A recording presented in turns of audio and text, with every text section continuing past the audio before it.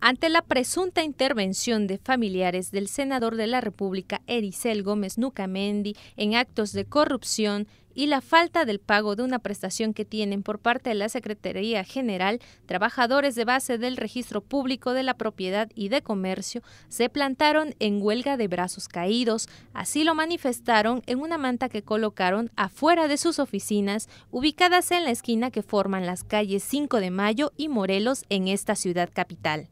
rezago que enfrenta esta institución y de la cual se está culpando el personal de base de ese rezago, cuando nosotros no somos responsables porque ya nos hemos deslindado a través de un comunicado que ha salido en la prensa y que estuvimos repartiendo a la gente que vino,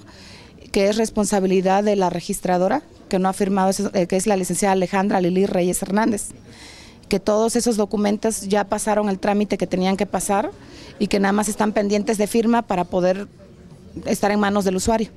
El personal de base no hace trámites urgentes, sino la encargada era la licenciada Aide Victoria Nucamendi. Pedimos la destitución la semana, en el, martes de la semana, este, aparentemente nos dijeron que se iba porque hubo agresión por parte del público hacia personal de base, haciéndonos responsables y pues tuvo que asumir la responsabilidad del director de que no es responsabilidad de nosotros, sino de su personal. De hecho, este, nosotros le comentábamos de que, eh, de que no querían destituirla de su cargo porque es pariente del senador Ericel Gómez Nucamendi. Ella es la licenciada Aide Nucamendi Ganoa. De hecho, tiene varios parientes acá, entre ellos el director que nos representa, que es el licenciado Víctor Manuel Gómez Albores,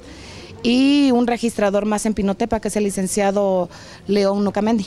Por eso no nos han hecho caso en todas las peticiones que tenemos pendientes, porque sienten el respaldo por parte del senador y a lo mejor del propio gobernador, ¿no? Con imágenes de Gustavo Brioso, informó para Punto TV Latinoamérica Radiorama Karen Bautista.